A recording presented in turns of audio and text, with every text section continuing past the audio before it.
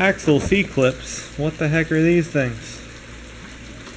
Or if you have a um, an axle that's a C-clip axle, doesn't the axle is not held in by the backing plates on either side of the axle.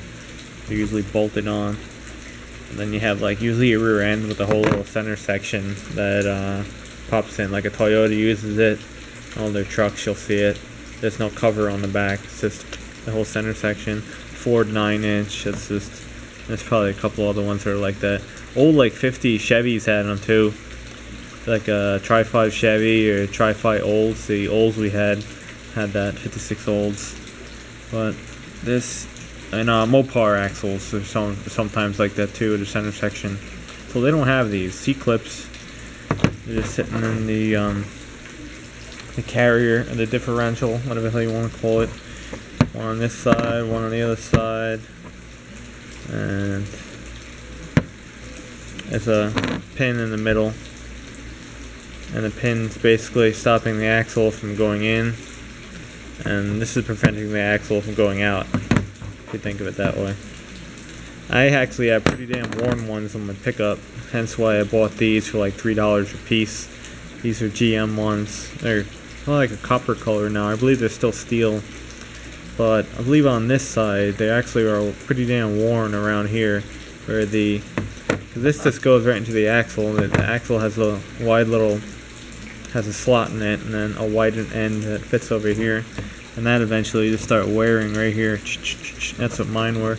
I was going to, when last time I had my axles out and I replaced the axle seal, this is back in like 2008 or 9 at my old shop. I was going to put them in backwards, but I didn't really like that because this has a flat edge on this side and this is more of a rounded edge. So I left them like I'm worn, but still I have a lot of in and out axle play and I'm pretty sure if I put new C-clips in, it's going to reduce a lot of that. So that could be a job in the near future, or but it's getting hot out, so probably not. So though I'd share that, that's all it is, holding your axles on a uh, GM, even a Ford too, like 8.8. The same deal with the uh, C-clips. I remember when my kids at work used to have a lot of Mustangs, used to always play around with those T5 transmissions and uh, 8.8. So that's that, and we got a Honda spring for our motorcycle. Yeah. This actually works in the lumbar support. It's like seven bucks. Lumbar support on the Chevy trucks because the spring breaks on it. There's a little spring on the bottom and a cable. And that's what's broken in our truck, pretty sure. You just hear the cable go up, stops, go down, and then there's no movement.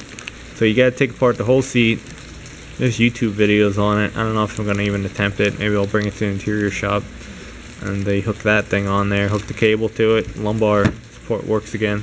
Because it's not a balloon that inflates. It's just basically a, uh, a plate. When you pull up on this, when the cable puts tension on it. Well, actually, this is just for... So when the cable is at its maximum height, it stretches the spring and not, you know, if you have a cable, you're pulling it on a fixed object, eventually it's going to snap on you. So that's that. But uh, basically, the lumbar is just like a a um, plate that kind of like articulates a little bit. So as you put, it goes down or something, or goes up, I forget. It pushes out more and then sucks back in. It's kind of weird. Uh, you see it good in like a lot of like uh, crappy like German cars, like Mercedes and whatnot.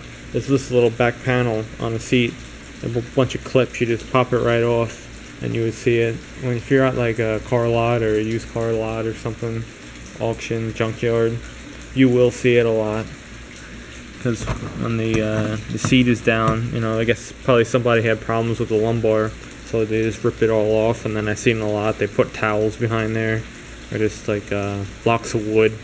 They do some ghetto ass shit. So that's uh, I should get some more of these. You gotta see if they're magnetic. Pretty sure they are. That's steel. It's just a copper um, anti-rust coating on it. That's weird. It VIN matches though. Always check your VIN. Have your VIN number. Put the VIN in. Put the part number in. Matches. You know you're good. Fits all their cars. Cool.